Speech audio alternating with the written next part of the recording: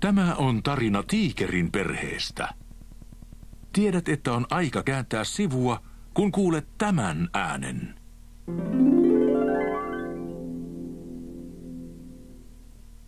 Aloitetaanpa. Syksy on parasta aikaa pomppimiseen, varsinkin jos sattuu olemaan tiikeri. Tänä hienona syyspäivänä tiikeri ei kuitenkaan löytänyt ketään pomppimaan kanssaan. Puhilla oli liian kiire. No, lähtisin kyllä mielelläni, tiikeri. Mutta minun pitää laskea hunajavarastoni, että se varmasti riittää talveksi. Nasulla taas liian vilu. Pomppimaan. Oi voi, pitää kerätä polttopuita talven varalle ja... ja... Tiikeri ihmetteli, miksi kaikki hössöttivät talvesta. Hänen mielestään ulkona ei ollut yhtään kylmä. Sitten tiikeri pomppi kengun luokse. Anteeksi kysymys, mutta ette välittäisi lähteä pomppimaan kanssani. No ikävä kyllä, minulla on liikaa töitä tänään, kulta. Kengulla kaisi lehdet ovensa edestä.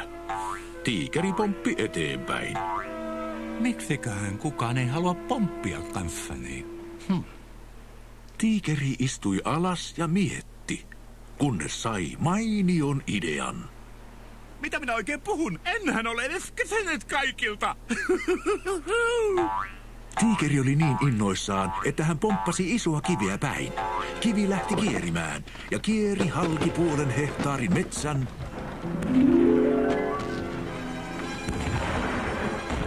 Suoraan ihan talon päälle. Kani keksi pian, että kivi voidaan siirtää hänen erityisellä kiven kierittäjälaitteellaan. Tarvitsemme vain vähän äh, ryhmätyötä. Ihan ystävät heivasivat ja hissasivat. He vetivät ja työnsivät, mutta iso kivi ei liikahtanutkaan.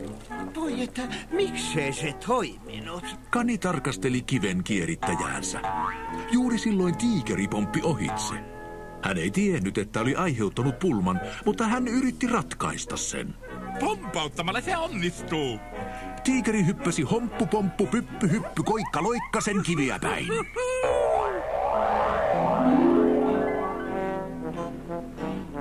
Kivi lähti liikkeelle vieden tiikerin ystävät mukanaan. Voi ei! Apua!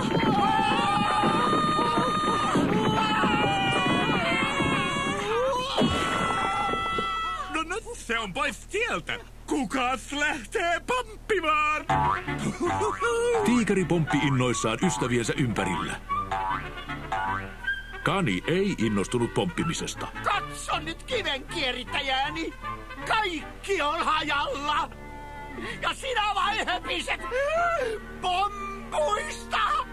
Mutta sitähän tiikerit parhaiten. Tiikeri katsoi muita ihmeissään. Iha huokaisi. Aivan. Toisin kuin me. Tiikeri laahusti suruissaan metsään. Ruu seurasi häntä. Ruu ei halunnut nähdä ystävänsä yksinäisenä ja masentuneena.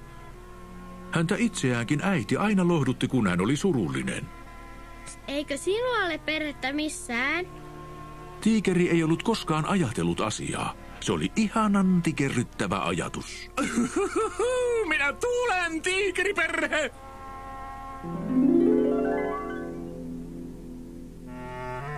Tiikeri ja Ruu kysyivät Pöllöltä, kuinka löytäisivät tiikerin perheen.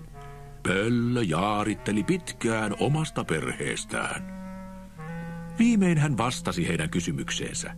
Tosiaan, jos mä menisin itse asiaan, nöyrä neuvoni tiikerille on, että jos hän haluaa löytää perheensä, kannattaa etsiä itselleen oma sukupuu.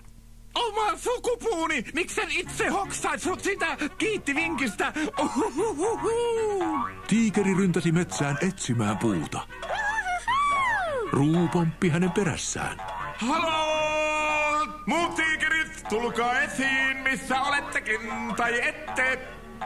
Tiikeri pomppi puulta puulle.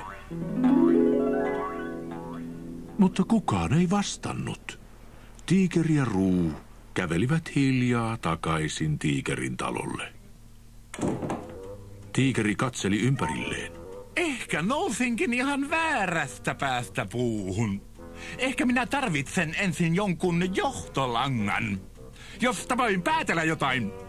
Ruu yritti auttaa pomppaamalla homppu pomppu pyppy hyppy koikkaloikkasen.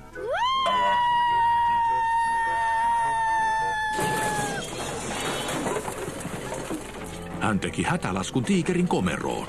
Sitten hän kaivautui esiin tiikerin tavaroiden seasta. Mi- mikä hypsytin tämä on? Tiikeri otti sydämen muotoisen medaljongin ruulta ja katsoi sitä lähempää. Oh, juuri tuollaista medaljontitiä minä etsin. Oh, siinä on taatusti minun perheeni sukupotretti sisällä.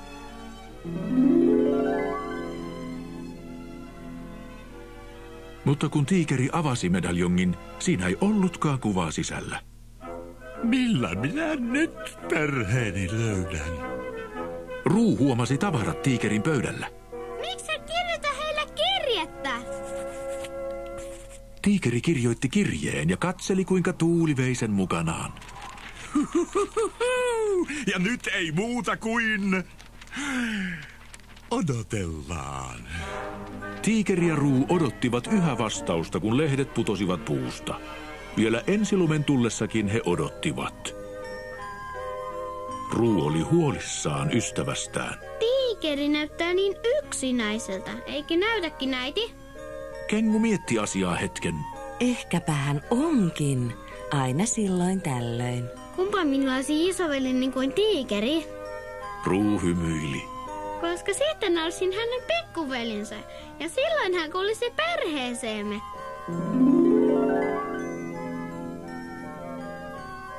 Mutta Rukulta, tiikerihän kuuluu jo perheeseemme. Ja koska välitämme hänestä, hän tulee aina kuulumaan. Kengu peitteli Ruun. Silti toivon, että voisin auttaa häntä jotenkin.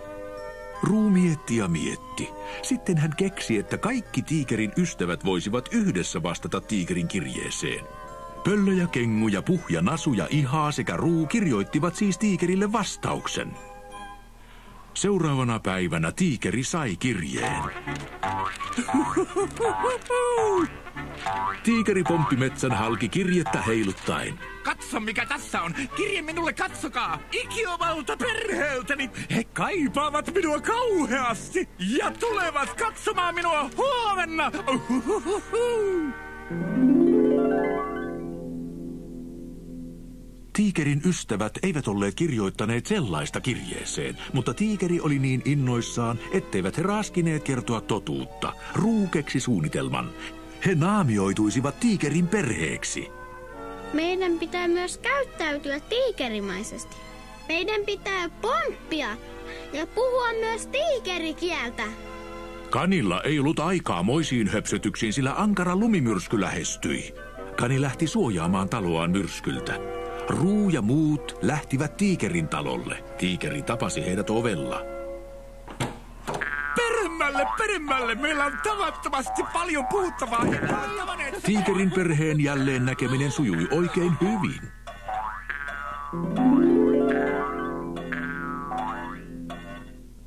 Kunnes Ruu yritti hypätä homppu pomppu pyppy hyppy koikkaloikkasen.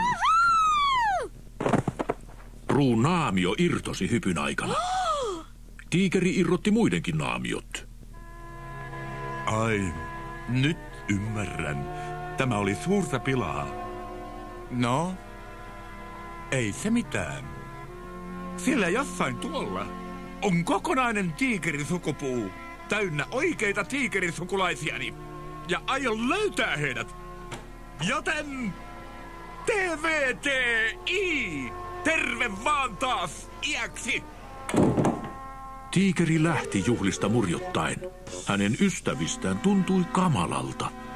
Samalla kun he oloina siistiytyivät, lumimyrsky alkoi. Ruu sanoi puhille. Meidän täytyy löytää hänet. Puh yritti olla avulias. Siihen tarvitaan... Mieti, mieti, mieti. etsintäparturi.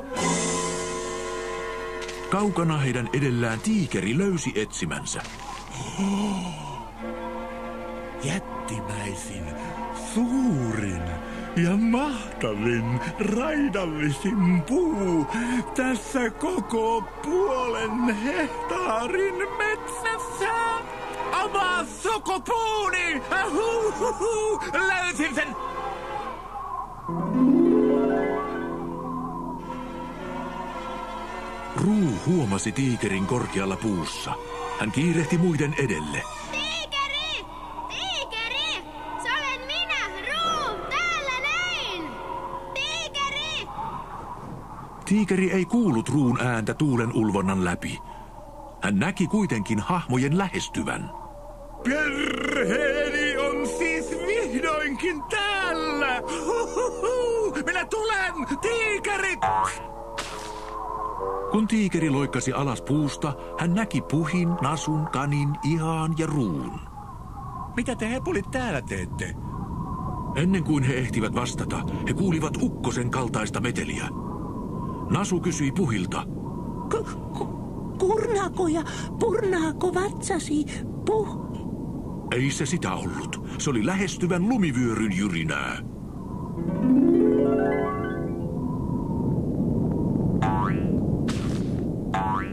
Tiikeri pompautti ystävänsä puun oksille turvaan, mutta hän ei ehtinytkään loikata itse puuhun. Tiikeri! Ruu valmistautui homppupomppu pyppy hyppy koikkaloikkaseen. Hän pomppasi alas ja palasi takaisin tiikeri mukanaan. Se oli mahtava homppu, pomppu, hyppy! Tiikeristä tuntui yhtä mahtavalta kuin ruusta. Kaikki olivat nyt turvassa. Tiikerin ystävät kapusivat alas puusta ja kertoivat kirjoittaneensa kirjeen. Tiikeri tuijotti. Tarkoitatteko, että te kaverit olette perheeni? Puh nyökkäsi. Ei meillä ole parempaakaan tarjota. No ei tietenkään, puhkarhu. Sillä ei ole olemassa parempaa kuin paras. Tiikeri virnisti.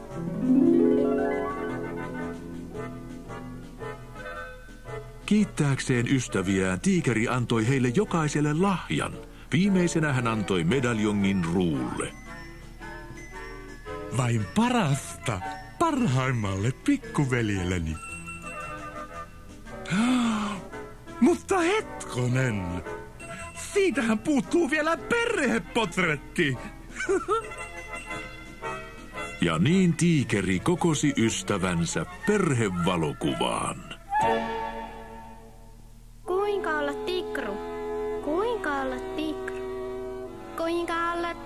Tikru on sustakin? Ah, sun täytyy näyttää siis siltä. Ja kuulostaa siltä. Ja käyttäytyä myös niin.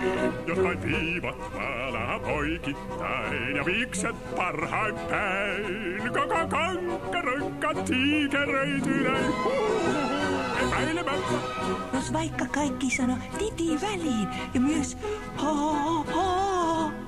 Tiikerin pää ääntä ei kai oo.